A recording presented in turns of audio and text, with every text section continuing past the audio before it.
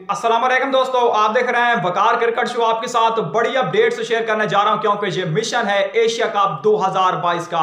पाकिस्तान ने इंडिया के लिए अपने हथियार तेज कर लिए हैं। फखर जमान और ऋषभ पंत का तगड़ा जोड़ पड़ गया है और इसके अलावा बाबर आज़म फखर जमान के बन चुके हैं नए कोच। तो इस हवाले से भी आपके साथ अपडेट शेयर करूँगा। तो जी हाँ दोस्तों 28 अगस्त को बड़ी टक्कर तो होने वाली है, लेकिन पाकिस्तान ने अपनी गन पावर जो है रेडी कर ली है।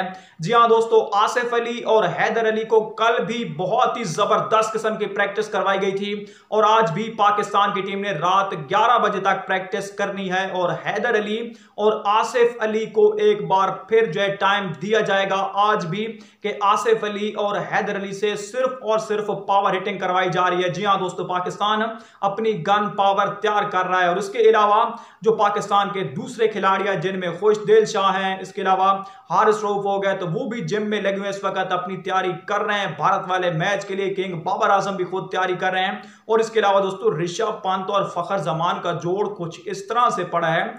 पहले ऋषभ पंत से तैयारी करवाई गई कि लेग स्पिनर को लपेटा कैसे लगाना है लेग पे छक्का कैसे लगाना है।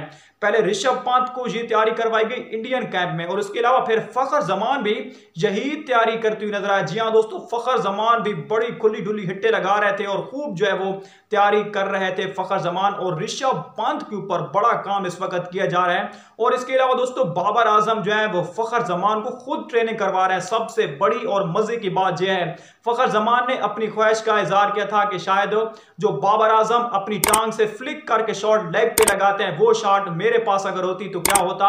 अब बाबर आज़म फखर जमान को वो शॉट जो है वो सिखाने की कोशिश कर रहे हैं और ये वाकई ही बड़ी बात है। अगर आपको अपडेट अच्छे लगे तो लाइक कर देना, चैनल पर पहली बार है, चैनल को सब्सक्राइब प्लीज़